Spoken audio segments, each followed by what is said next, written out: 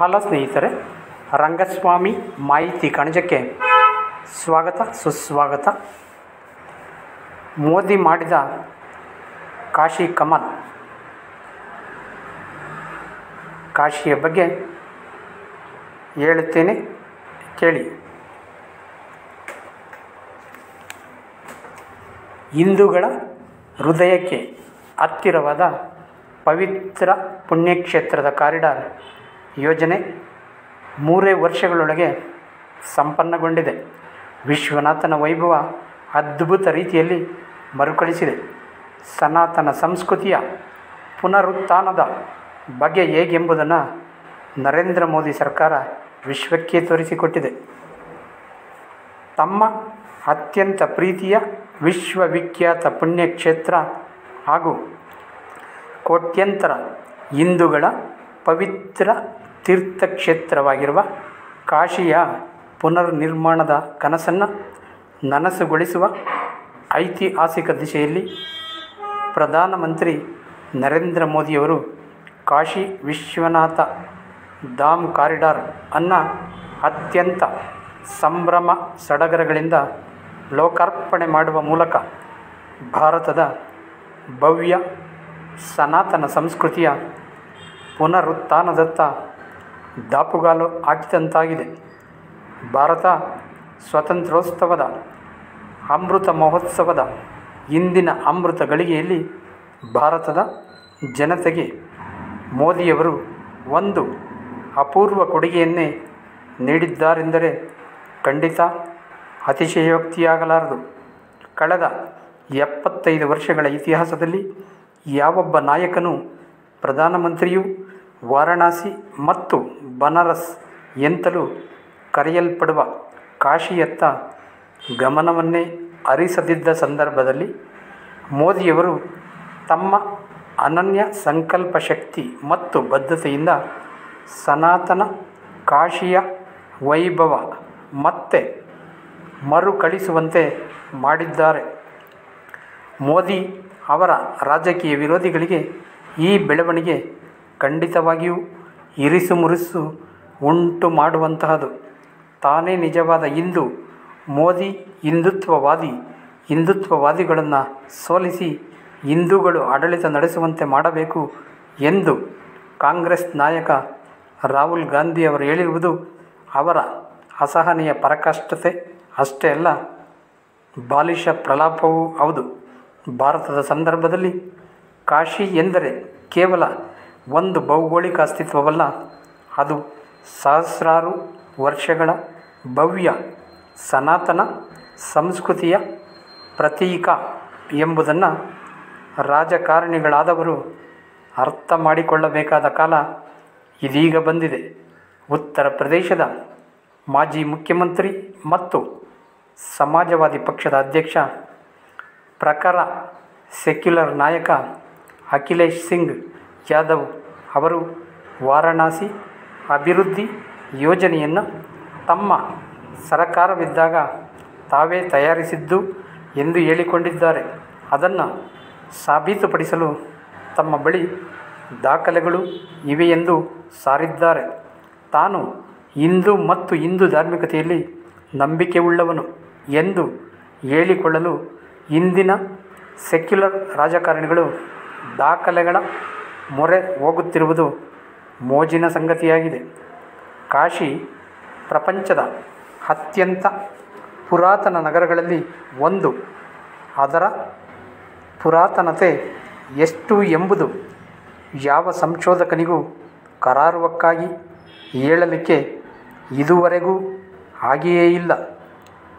ಹಲವಾರು ಸಂಶೋಧನೆಗಳ ಪ್ರಕಾರ ಕ್ರಿಸ್ತಪೂರ್ವ ಹನ್ನೊಂದನೇ ಶತಮಾನದವರೆಗಾದರೂ ಕಾಶಿಯ ಪುರಾತನತೆ ವ್ಯಾಪಿಸಿದೆ.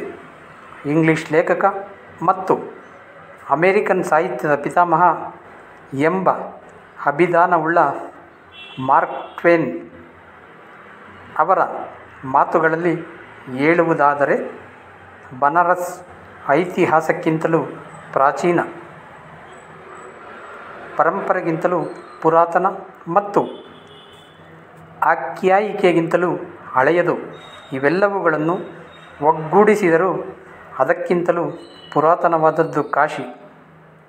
ಭಾರತದ ಸಪ್ತ ಪವಿತ್ರ ತೀರ್ಥ ಕ್ಷೇತ್ರಗಳಲ್ಲಿ ಕಾಶಿಗೆ ಅಗ್ರಗಣ್ಯ ಸ್ಥಾನ ಇನ್ನುಳಿದ ಆರು ಕ್ಷೇತ್ರಗಳೆಂದರೆ ಅಯೋಧ್ಯೆ, ಮಥುರಾ, ಮಾಯಾಪುರಿ ಅಥವಾ ಹರಿದ್ವಾರ, ಕಾಂಚಿ, ಆವಂತಿಕ, ಅಂದರೆ ಉಜ್ಜಯಿನಿ ಮತ್ತು ದ್ವಾರಕ. ಅದು ಪ್ರಪಂಚದ ವಿದ್ಯಾಕ್ಷೇತ್ರ. ಮೂರು ಸಾವಿರ ವರ್ಷಗಳ ನಿರಂತರ ನಾಗರಿಕತೆಯ ಕೇಂದ್ರ ಜ್ಞಾನೋದಯ ಅನಂತರ ಗೌತಮ ಬುದ್ಧ ಮೊದಲ ಬಾರಿಗೆ ಸಾರ್ವಜನಿಕ ಬೋಧನೆ ಮಾಡಿದ್ದು.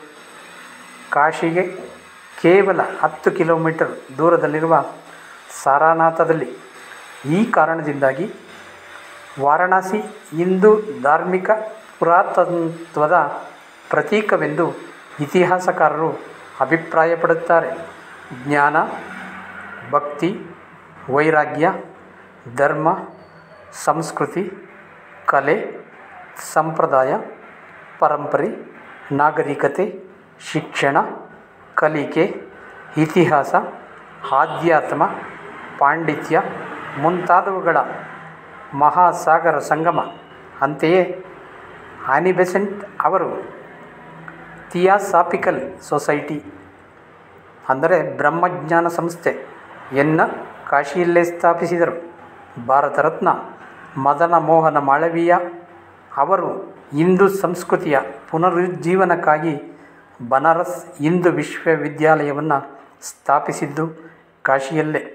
ವೈಷ್ಣವ, ಶೈವ ತತ್ವಜ್ಞಾನಗಳು ಸಹಬಾಳ್ವೆ ನಡೆಸುವ ಕಾಶಿ ಆಯುರ್ವೇದದ ಜನ್ಮಭೂಮಿ ಎಂಬ ಹೆಗ್ಗಳಿಕೆಯನ್ನು ಪಡೆದಿದೆ.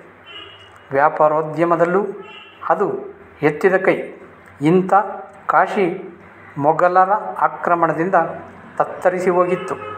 ಪರಕೀಯ ಆಡಳಿತದಲ್ಲಿ ತೀವ್ರ ಅವಕೃಪೆಗೆ ಒಳಗಾಗಿತ್ತು. ಯಾತ್ರಾರ್ಥಿಗಳಿಗೆ ಕಾಶಿ ಯಾತ್ರೆ ಎಂದರೆ ಒಂದು ಕಹಿ ಅನುಭವವಾಗಿತ್ತು.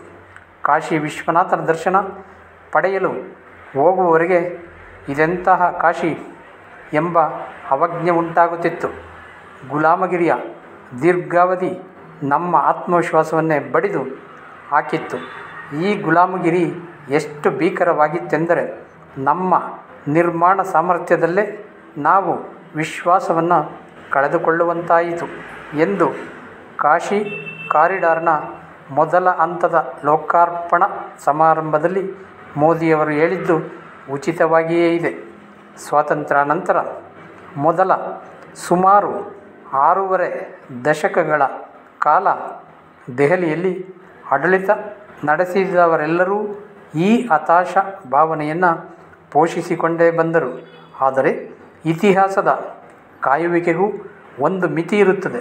ಎರಡು ಸಾವಿರದ ಹದಿನಾಲ್ಕರ ಲೋಕಸಭಾ ಚುನಾವಣೆಯಲ್ಲಿ ವಾರಣಾಸಿಯನ್ನೇ ತಮ್ಮ ಕ್ಷೇತ್ರವನ್ನಾಗಿಸಿಕೊಂಡು ಸ್ಪರ್ಧಿಸಿ ಭಾರತೀಯ ಜನತಾ ಪಕ್ಷವನ್ನು ಅಧಿಕಾರಕ್ಕೆ ತಂದು, ತಾನು ಪ್ರಧಾನಮಂತ್ರಿಯಾದ ಮೇಲೆ ನರೇಂದ್ರ ಮೋದಿಯವರು ಸಂಕಲ್ಪಿಸಿದ್ದು ಕಾಶಿಯ ದಾರುಣ ಹಾಗೂ ಗೊಂದಲಮಯ ಚಿತ್ರಣವನ್ನು ಬದಲಿಸಿ ಅದರ ಸನಾತನ ವೈಭವವನ್ನು ಸಾಧ್ಯವಾದಷ್ಟು ಮರುಸ್ಥಾಪಿಸಬೇಕೆಂದು ಅದಕ್ಕಾಗಿ ಅವರು ಕಾಲಹರಣ ಮಾಡಲಿಲ್ಲ. ಆಗ ಇದ್ದ ಸ್ಥಿತಿಯಲ್ಲಿ ಕಾಶಿಯನ್ನು ತಡವಿಕೊಳ್ಳುವುದೆಂದರೆ ಜೇನುಗೂಡಿಗೆ ಕೈ ಹಾಕಿದಂತೆ. ಆದರೆ ಸಂಕಲ್ಪ ಶಕ್ತಿಯ ಮುಂದೆ ಯಾವ ಅಡಚಣೆಯೂ ತಡೆಯೊಡ್ಡಲಾರದೆಂಬುದನ್ನು ಅಧಿಕಾರಕ್ಕೆ ಬಂದ ಏಳು ವರ್ಷಗಳಲ್ಲೇ ಮೋದಿ ತೋರಿಸಿಕೊಟ್ಟಿದ್ದಾರೆ. ಐದು ಸಾವಿರ ಹೆಕ್ಟೇರ್ ವಿಸ್ತಾರ, ಐವತ್ತು ಮೀಟರ್ ಅಗಲ, ಸುಮಾರು ಐದು ಸಾವಿರ ಹೆಕ್ಟೇರ್ ವಿಸ್ತಾರದಲ್ಲಿ ಐವತ್ತು ಮೀಟರ್ ಅಗಲ ಕಾರಿಡಾರ್ ಇದಾಗಿದ್ದು ಸುಮಾರು ಮುನ್ನೂರು ಕಟ್ಟಡಗಳನ್ನು ತೆರವುಗೊಳಿಸಿ ಕಾಶಿಯ ಎರಡು ಪ್ರಮುಖ ಪ್ರತೀತಗಳಾಗಿರುವ ಗಂಗಾ ನದಿ ಮತ್ತು ವಿಶ್ವನಾಥ ಮಂದಿರಕ್ಕೆ ಯಾತ್ರಿ ಸ್ನೇಹಿ ಸಂಕಲ್ಪ ಸಂಪರ್ಕ ಕಲ್ಪಿಸಲಾಗಿದೆ. ಯಾತ್ರಾರ್ಥಿಗಳಿಗೆ ಆಗುತ್ತಿದ್ದ ಎಲ್ಲ ರೀತಿಯ ತೊಂದರೆಗಳನ್ನು ನಿವಾರಿಸಿ ಸೌಕರ್ಯಗಳ ಸುಧಾರಣೆಯನ್ನು ಕೈಗೊಳ್ಳುವುದರ ಜೊತೆಗೆ ಎಲ್ಲ ರೀತಿಯ ಕಾರ್ಯ ಸಂಬಂಧ ವ್ಯಾವಹಾರಿಕ ಚಟುವಟಿಕೆಗಳನ್ನು ಸುಗಮಗೊಳಿಸಿ ಸುರಕ್ಷತೆಯನ್ನು ಗಟ್ಟಿಗೊಳಿಸಲಾಗಿದೆ. ಪರಂಪರೆಗೆ ಪೂರಕವಾಗಿ ಆಧುನಿಕ ವಿಜ್ಞಾನ ಮತ್ತು ತಂತ್ರಜ್ಞಾನಗಳನ್ನು ಚಮತ್ಕಾರವಾಗಿ ಬಳಸಿಕೊಳ್ಳಲಾಗಿದೆ. ಎರಡು ಸಾವಿರದ ಹತ್ತೊಂಬತ್ತರಲ್ಲಿ ಪ್ರಾರಂಭವಾದ ಈ ಮಹತ್ತರ ಕಾರ್ಯ ಸುಮಾರು ನಾನ್ನೂರು ಕೋಟಿ ರು ವೆಚ್ಚದಲ್ಲಿ ಮೂರು ವರ್ಷಗಳಿಗೂ ಕಡಿಮೆ ಅವಧಿಯಲ್ಲಿ ಪೂರ್ಣಗೊಳಿಸಲಾಗಿದೆ. ಸಂದುಗೊಂದಿಯಲ್ಲಿ ಅಗದಿ ಇಕ್ಕಟ್ಟಿನಲ್ಲಿ ನಿರ್ಮಾಣವಾಗಿದ್ದ ಸುಮಾರು ಮುನ್ನೂರು ಕಟ್ಟಡಗಳನ್ನು ತೆರವುಗೊಳಿಸುವ ಸಂದರ್ಭದಲ್ಲಿ ನಲವತ್ತು ದೇವಸ್ಥಾನಗಳು ಪತ್ತೆಯಾಗಿವೆ. ಎಲ್ಲ ದೇವಸ್ಥಾನಗಳನ್ನು ಹಾಗೆಯೇ ಉಳಿಸಿಕೊಳ್ಳಲಾಗಿದೆ. ಕಟ್ಟಡಗಳಿಂದ ತೆರವುಗೊಳಿಸಲಾದ ಜನರಿಗೆ ಸಮಾಧಾನಕರವಾದಷ್ಟು ಮಾತುಕತೆಯ ಮೂಲಕವೇ ಪರಿಹಾರಧನ ನೀಡಿ ಪುನರ್ ವಸತಿಗೆ ಅವಕಾಶ ಮಾಡಿಕೊಡಲಾಗಿದೆ. ಒಂದು ಪ್ರಕರಣ ಕೂಡ ಕೋರ್ಟ್ ಮೆಟ್ಟಿಲು ಹತ್ತದಿರುವುದು ಮತ್ತು ಯಾವುದೇ ವಿವಾದ ಉಂಟಾಗದಿರುವುದು ನಿಜಕ್ಕೂ ಸೋಜಿಗದ ಸಂಗತಿಯೇ ಸರಿ.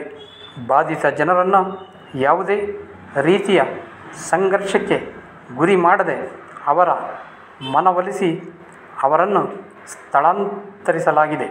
ಯೋಜನೆಯ ಪ್ರತಿ ಹಂತದಲ್ಲೂ ಸ್ವತಃ ಮೋದಿಯವರೇ ಪರಿಶೀಲನೆ ನಡೆಸಿ ಆಸಕ್ತಿ ತೋರಿ ಎಲ್ಲದಕ್ಕೂ ಹಸಿರು ನಿಶಾನೆ ತೋರಿದ್ದಾರೆ.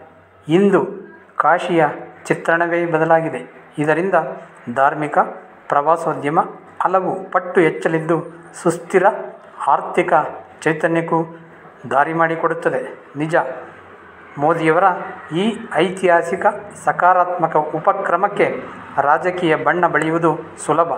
ಬರುವ ಮಾರ್ಚ್ನಲ್ಲಿ ಉತ್ತರ ಪ್ರದೇಶ ಮತ್ತು ಇತರ ರಾಜ್ಯಗಳ ವಿಧಾನಸಭಾ ಚುನಾವಣೆಗಳ ಹಿನ್ನೆಲೆಯಲ್ಲಿ ಕಾಶಿ ಕಾರಿಡಾರ್ ಉದ್ಘಾಟಿಸಲಾಗಿದೆ ಎಂದು ಯಾರಾದರೂ ಆರೋಪಿಸಬಹುದು. ಆದರೆ ವಾಸ್ತವದಲ್ಲಿ ಯಾವುದೇ ವ್ಯಕ್ತಿ ಅಥವಾ ಪಕ್ಷ ರಾಜಕೀಯ ಅಧಿಕಾರ ಪಡೆಯುವುದೇ ಜನಪಯೋಗಿ ಕಾರ್ಯಗಳನ್ನು ಮಾಡುವುದಕ್ಕೆ ಅಧಿಕಾರವನ್ನು ಸದುಪಯೋಗಪಡಿಸಿಕೊಂಡಾಗಲೇ ಅದು ಸಾಧ್ಯವಾಯಿತು. ಎರಡು ಸಾವಿರದ ಹತ್ತೊಂಬತ್ತರಲ್ಲಿ ಪ್ರಾರಂಭಿಸಲಾದ ಕಾರ್ಯ ಎರಡು ಸಾವಿರದ ಇಪ್ಪತ್ತೆರಡರ ಚುನಾವಣೆ ವೇಳೆಗೆ ಪೂರ್ಣಗೊಳಿಸುವ ಗುರಿ ಹೊಂದಿದ್ದಲ್ಲಿ ಅದು ರಾಜಕೀಯ ದೃಷ್ಟಿಯೂ ಆದೀತು, ಮುತ್ಸದ್ದಿತನವೂ ಆದೀತು.